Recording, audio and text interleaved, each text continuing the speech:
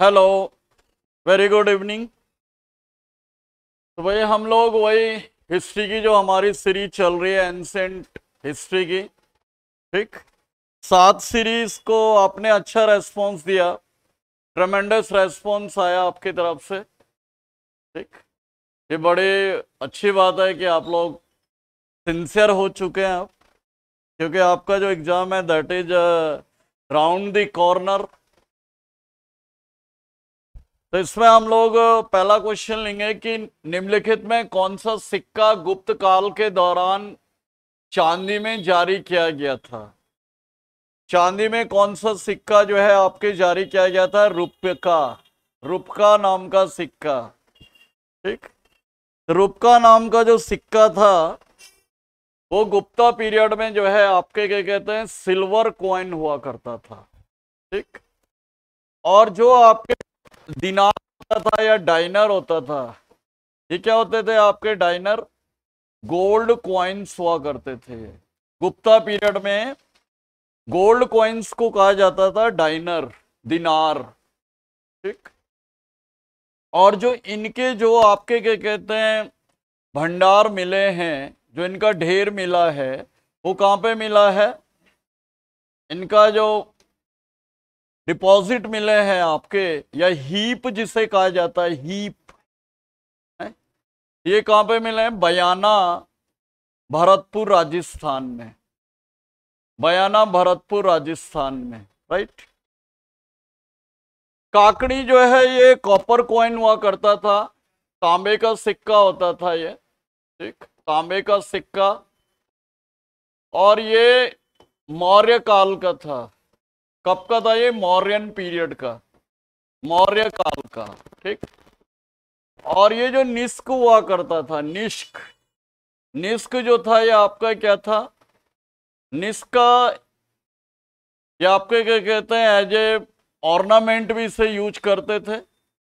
Ornament का मतलब होता है आपके, आपने पुराने जमाने में देखी होगी, सिक्कों की माला वगैरह पहनते थे महिलाएँ खास तौर पे। तो ये आपके कब था ये? वैदिक काल में था वैदिक पीरियड में, ठीक? वैदिक काल या वैदिक पीरियड का क्वाइन था ये राइट और एक क्वेश्चन आपके कई बार एग्ज़ाम में आता है कि what is the study of coins तो स्टडी ऑफ़ क्वाइंस क्या कहलाता है? ये कहलाता है आपके न्यूमिसमैटिक्स न्यूमिसमैटिक्स। ठीक। ये भी आप ध्यान रखें, स्टडी ऑफ़ कॉइन्स न्यूमिसमैटिक्स। कई बार एग्ज़ाम में आता है। नेक्स्ट क्वेश्चन है, संगम युग में तोलका पियाम का सबसे क्या था ये? मतलब किससे रिलेटेड था ये? ये था आपका तमिल साहित्य। तमिल साहित्य। ठीक। माने क्या था आपके तमिल साहित्य में भी क्या था, ये आपके ग्रामर से था। ग्रामर मैंने व्याकरण से रिलेटेड था ये। किससे रिलेटेड था ये? तमिल भाषा का व्याकरण। और तमिल आपको पता होगी कि भारत की क्या है ये? सबसे पुरानी भाषा है। It is the oldest classical language of India और कब इसे क्लासिकल का दर्जा मिला? 2004 में। शास्त्रीय भाषा कब बनी है? तमिल हमारी ये बनी आपके 2004 में, ठीक? तो संगम, कई बार एग्ज़ाम में आता है कि संगम क्या था? What was Sangam? तो संगम क्या होता था उस जमाने में? संगम जो था ये तमिल कवियों की सभा, तमिल कवियों की सभा, ठीक? जिसे कहा जाता है इंग्लिश में assembly of Tamil poets assembly of Tamil poets और ये मोस्टली जो संगम हुए, तीन संगम हुए ये। और ये कहाँ पे हुए? आपके मदुरई में। मदुरई तमिलनाडु में। ठीक? मदुरई तमिलनाडु में। क्वेश्चन नंबर थ्री चीनी यात्री सुनियुंग कब भारत आया था? तो चीनी यात्री जो सुनियुंग भारत आया था 517 अठारह ईस्वी या एडी में।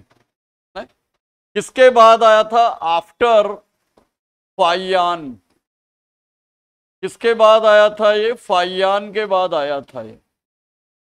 फाइयान जो क्या था आपके? भारत आने वाला आपके क्या कहते हैं? फ़र्स्ट चाइनीज़ पिलग्रिम या यात्री था, जो कि किसके समय में आया था? चंद्रगुप्त। चंद्रगुप्त सेकंड या विक्रमादित्य के समय में ये भारत आया था। ये भी क्वेश्चन आप ध्यान रखें कि क्वेश्चन आता कि फाइयान कब आया था? तो ये चंद्रगुप्त सेकंड या चंद्रगुप्त विक्रमादित्य के समय में भारत आया था। नेक्स्ट क्वेश्चन है, किस राज्य में ओदंतपुरी शिक्षा केंद्र था? तो ओदंतपुरी जो था, एक जगह है बिहार शरीफ। बिहार शरीफ तो बिहार शरीफ जो है कहाँ का डिस्ट्रिक्ट है। बिहार का। इसके जो फाउंडर था, संस्थापक, ये कौन था? गोपाल। तो गोपाल क्या था? इसका फाउंडर था, जो कि क्या था? ये पाल वंश का, पाल वंश का संस्थापक था ये। ठीक? पाल वंश का फाउंडर था।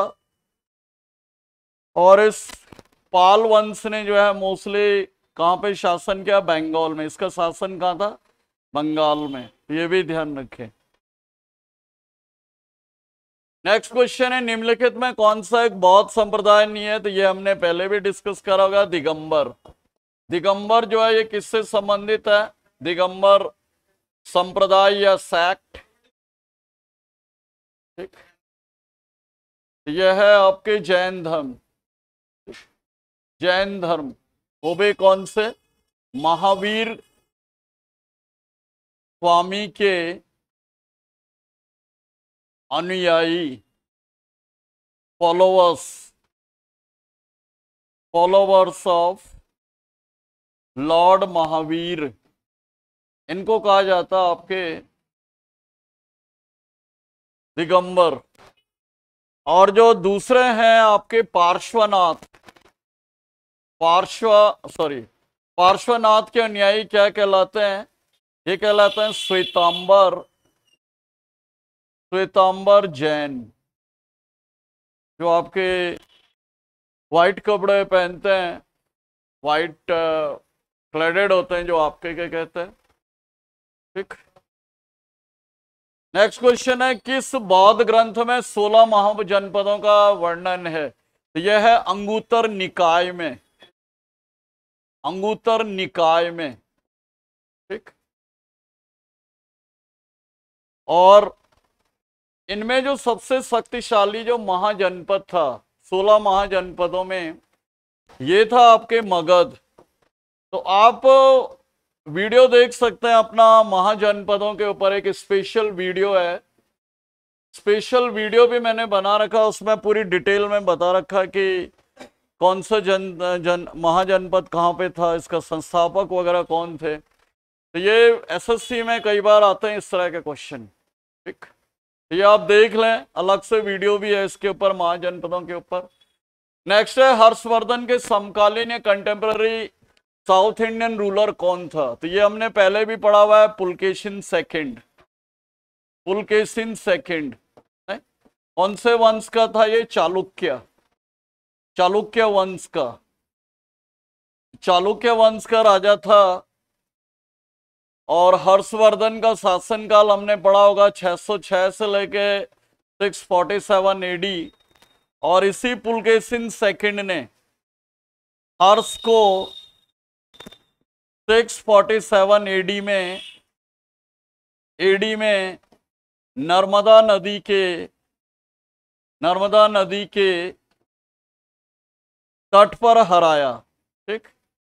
तो ये हम लोग पहले भी कर चुके हैं, एहोल अभिलेख वगैरह वगैरह, एहोल इंस्क्रिप्शन वगैरह। तो उसमें आपने देखा होगा, ये मैंने बता रखा है। नेक्स्ट क्वेश्चन है, निम्नलिखित में कौन सा राष्ट्रकूटों का सबसे स्थायी योगदान है? Which is of the following the most lasting contribution of the Rashtrakuta, राष्ट्रकूटों का जो सबसे प्रमुख योगदान है, वह है पंपा पोना राणा, ये तीन जो राइटर हैं, इन्होंने क्या किया? कन्नड़ कविताओं को लिखा। कन्नड़ कविताओं को लिखा इन्होंने और कैलाश मंदिरों का निर्माण करवाया। कैलाश टेंपल का निर्माण करवाया इन राष्ट्रकूटों ने, ठीक? कैलाश टेंपल नेक्स्ट क्वेश्चन है रवि कीर्ति एक जैन जिन्होंने एहोल एहोल प्रशस्ति अभिलेख लिखे, इसको किसका संरक्षण प्राप्त था? तो ये हमने पहले भी पढ़ा हुआ है पुलकेसिन सेकंड के दरबारी कवि था ये। पुलकेसिन सेकंड का दरबारी कवि था ये। दरबारी कवि या कोर्ट पोइट जिसे कहा जाता है। तो क्या था ये रवि कीर्ति जो जैन था ये? पुलकेसिन सेकंड का क्या था? ये दरबारी कवि था।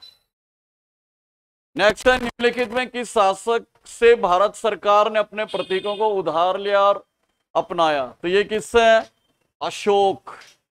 अशोक का सारनाथ जो आपके क्या कहते हैं? वह है लॉयन है, अशोक का क्या है? सारनाथ लॉयन। इसको भारत सरकार ने क्या क्या अपनाया है? सारनाथ कहाँ पे ये? वाराणसी, यूपी में। और यहीं पे आपके सारनाथ में क्या है? सेंट्रल तिबेतन तिबेतन यूनिवर्सिटी है। तो ये भी कई बार आता है कि केंद्रीय तिब्बती विश्वविद्यालय कहाँ पर है? ठीक? ये यूनिवर्सिटी कहाँ पर है? सारनाथ यूपी में। नेक्स्ट बड़ा थॉटफुल क्वेश्चन है।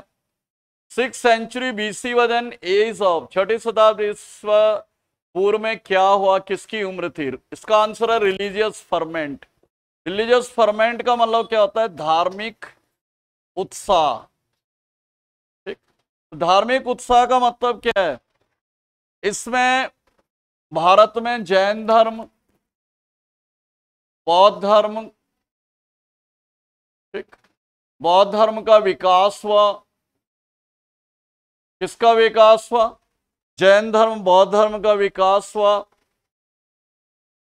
चाइना में क्या है आपका? कन्फ्यूशियस कन्फ्यूशियस नाम का एक दार्शनिक आया, उसकी विचारधारा का विकास हुआ। कन्फ्यूशियस आइडियोलॉजी डेवलप हुई चाइना में, ठीक? और ईरान में ईरान में क्या हुआ इसी दौरान? जोरस्टर जो था, जोरस्टर ने प्रोटेस्ट किया था प्रोटेस्ट जो जरथ्रुस्ट था, इसने क्या किया? आपके प्रोटेस्ट क्या, विरोध किया वहाँ के शासक का विरोध किया था ईरान या पर्शिया में? और आपको पता होगा ये जोरस्टर या जरथ्रुस क्या है? कौन से धर्म का संस्थापक है ये? पारसी धर्म का संस्थापक। Founder of Parsi religion Parsi religion तो ये जो पारसी लोग हैं इंडिया में, जो सबसे कम है, ये कहाँ से आए थे? इंडिया में ये लोग आए थे आपके ईरान से। और इसका संस्थापक कौन था? जरथ्रुस। ये जो जरथ्रुस ने प्रोटेस्ट किया था, वहाँ पे विरोध किया था अपने शासक का ये किया था आपके इसी दौरान सिक्स सेंचुरी बीसीई की बात है। माने 500 कुछ ईसा पूर्व की बात है ये। नेक्स्ट क्वेश्चन है, किस देश ने भारत से मोहनजोदाड़ो की प्रसिद्ध डांसिंग गर्ल की मूर्ति वापस कहने को कहा है? ये जो पाकिस्तान में सिंध गवर्नमेंट है, सिंध है पाकिस्तान में। उसने 2014 में 2014 में डिमांड की थी, ठीक? और ये जो मूर्ति है डांसिंग गर्ल, ये 2500 ईसा पूर्व बीसी की बनी हुई है। और ये जो है आपके 1946 से it is under the under the position of position of government of India. किसके पोजिशन में है? किसके पास है मूर्ति आजकल? भारत सरकार के पास है। और इस मूर्ति को जो है, इस डांसिंग गर्ल की जो मूर्ति है, इसको कहाँ पे डिस्प्ले के लिए रखा गया है? ये रखा गया है नेशनल म्यूज़ियम नेशनल म्यूज़ियम नई दिल्ली में। ठीक?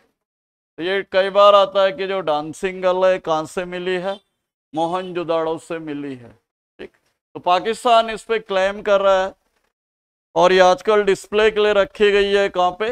नेशनल म्यूज़ियम न्यू दिल्ली ये थे भाई आपके आज का जो वीडियो था। आई होप आप ज़्यादा से ज़्यादा इसको लाइक करें शेयर करें सब्सक्राइब करें। Have a good day